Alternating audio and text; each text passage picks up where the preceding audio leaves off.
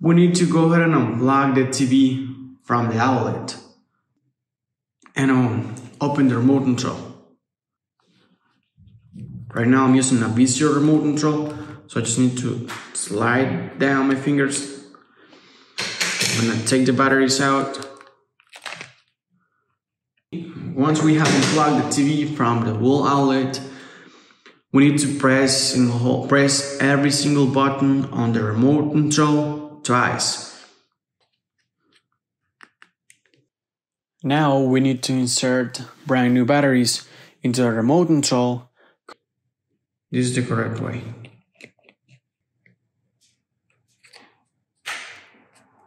Once we have uh, replaced the batteries,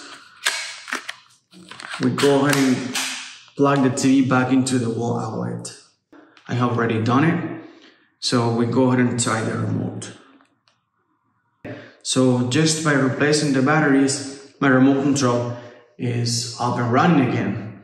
Now, if you're still having issues because the TV is not turning on or not doing anything with the remote control, there is one more step that you can definitely try and this is going to let you know if you have a bad remote control and this way you're going to know if you need to buy a remote control or take your TV to a repair shop to fix the IR receptor. So let me go ahead and show you this step really quick. Okay guys, this is the final step that you should try whenever you're having issues with your remote control.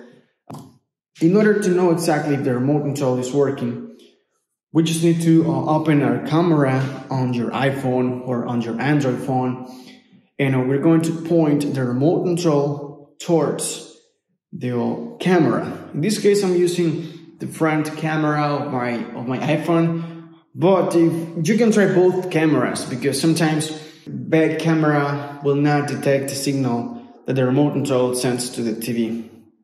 So we're gonna press any button on the remote control. And as you can see, when I press a button, there's a light coming out from the remote control. Look.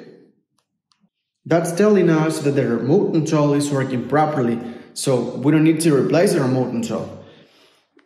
If the remote control is working and the TV is not picking up the signal, you need to make sure that you're using the remote control that the TV came with. Because if you're using a universal remote control, it could be that the remote control is working properly but somehow it needs to be reprogrammed.